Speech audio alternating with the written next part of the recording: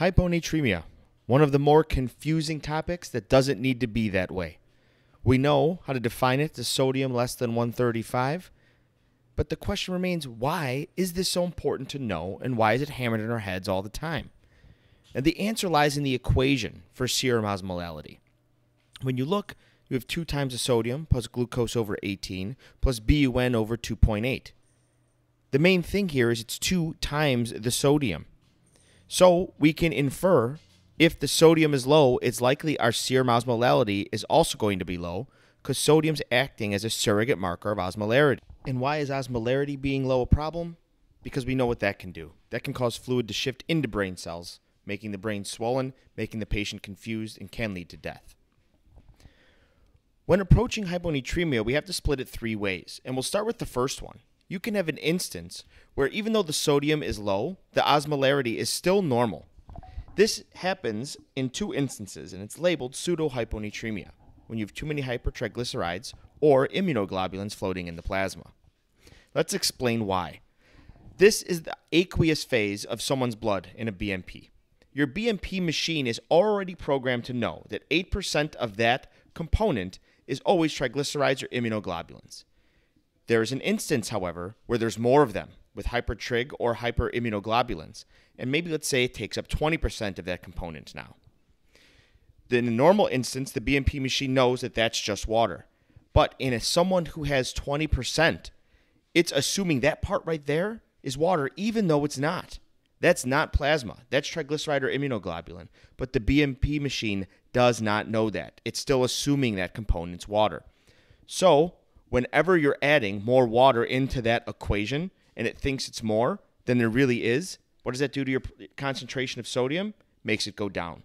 That's how pseudohyponatremia works. There's other in, eh, times an instance where you have a high osmolarity in the plasma, greater than 285. We know this commonly happens from glucose, and there's a nice little thing to remember for this. Call it the sweet 16. Add 1.6 to sodium for every 100 of glucose over 100 to correct. Second, are drugs like mannitol and sorbitol. Thirdly, IV contrast agents can do this. After they've gotten a CT, you check a BMP, it might be low. And then glycine irrigation. Lastly, is the one that we care about. This is someone who has a low serum osm, and this is labeled true hyponatremia or hyperosmolar hyponatremia. So after we've established true hyponatremia, we then have to go to volume status. And here we'll cover the extremes. Someone who's hypovolemic and hypervolemic. With hypo, we know it's simple. Vomiting, diarrhea, diuresis are the normal reasons for this. And when it comes to hypervolemia, we're accustomed to the conditions that make someone volume up, so to speak. It's usually heart failure, people who have cirrhosis, people who have nephrotic syndrome, and those who have renal failure, whether it's from ESRD or for bad AKI. In both of these instances, the effective circulating volume is the problem here. And in both cases, it's decreased. Now, in hypovolemia, it's simple to see why. In hypervolemia, it's because things have third spaced. In response to this, our body will do what it needs to do to restore volume. It'll kick on the RAS system and it'll kick on the ADH system. Now, the problem here is that ADH works faster and ADH works better than RAS ever will. Another way to think of it is that RAS is like a science experiment. It's a beaker of salt and water, perfectly going to give you isoosmotic gains in your volume, where ADH is just an indiscriminate waterfall, no salt whatsoever. So when you have a ton more water than you do salt and water, you're just adding net more water, which will make you more hyponatremic. So if you'll remember that in the competition between maintaining volume and osmolarity, volume is always going to win that battle. So again, revisiting volume state with true hyponatremia, we've covered what happens in someone who's hypovolemic and hypervolemic. So let's cover what happens in euvolemia. When it comes to euvolemia, there's quite a few conditions that we can consider. One that's always on the list is endocrinopathies, typically in the form of hypothyroidism and adrenal insufficiency. The next one is psychogenic polydipsia, and something that's very closely related to this called beer potomania and or the tea and toast diet. Next is an entity referred to as reset osmostat. Next are some drugs that can cause it, and lastly, SIADH. When it comes to endocrinopathies, the pathophys is much more complex than I can just explain here in a short video. The bottom line is there's excessive CRH and TRH. As they go into the pituitary, they can eventually go on to hit ADH receptors in the posterior pituitary, adding more ADH, thus more water. When it comes to psychogenic polydipsia, beer potomania, there's a spectrum of the same thing. Normally, we have a daily solute load presented to our kidneys of 600 milliosms. Once you've exhausted those 600 milliosms presented to your kidney, you can't make urine anymore. So you'll retain all fluids that you drink. So again, let's take the normal instance, 600 milliosms.